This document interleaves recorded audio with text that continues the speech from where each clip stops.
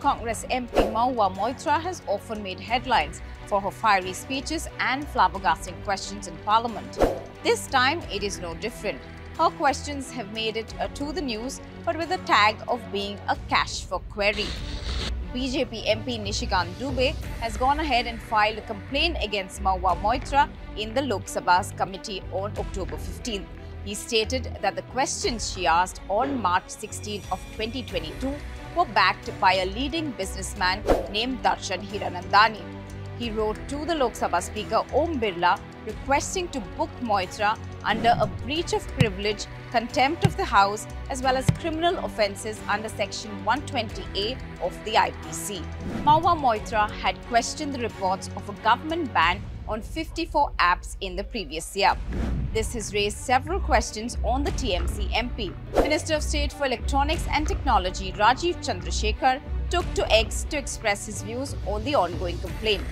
He said that if the reports of Moitra asking parliamentary questions at the behest of a data center company are true, then it's indeed shocking and shameful.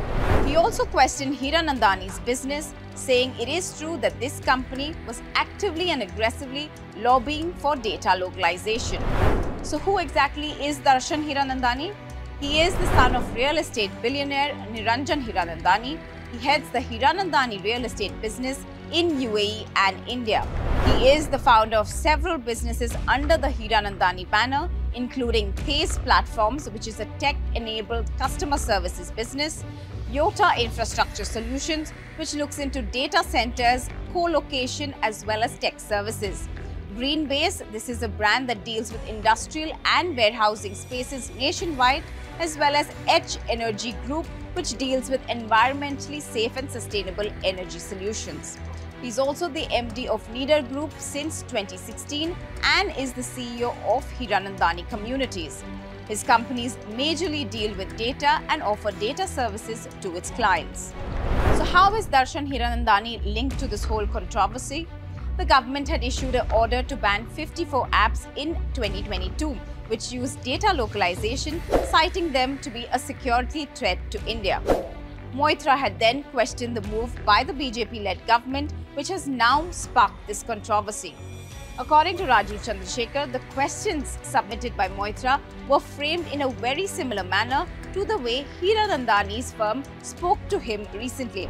He also said that Hiranandani's company was actively and aggressively lobbying for data localization, thus raising questions on both the TMC MP as well as Darshan Hiranandani.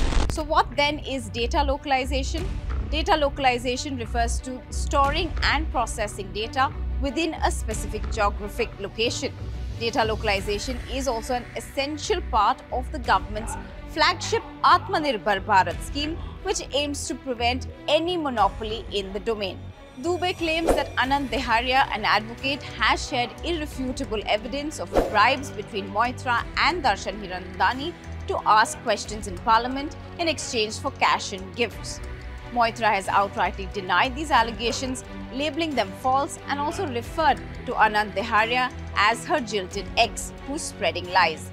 She also said that she's open to a CBI investigation on this matter as well as all the other allegations which were false and held no value.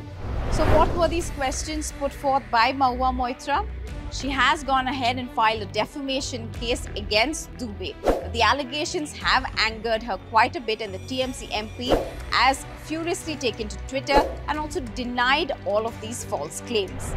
Moitra has also moved the Delhi High Court charging the BJP MP Nishikant Dubey as well as advocate Anand Dehadrai and a few media organizations with a defamation case on October 17 for circulating this defamatory material against her. She stated that due to past feuds as well as clashes, Dubey is just trying to take revenge and showcasing his personal enmity and political vendetta. Claims have also been made that images shared by BJP leader Preeti Gandhi are edited as Dubey has morphed himself out of those, hence framing it incorrectly.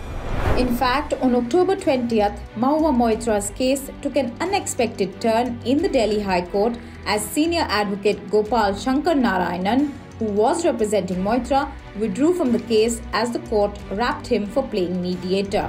Meanwhile, in a tell all affidavit, Hiranandani claims that Moitra made frequent demands of him and also had given him her parliament credentials.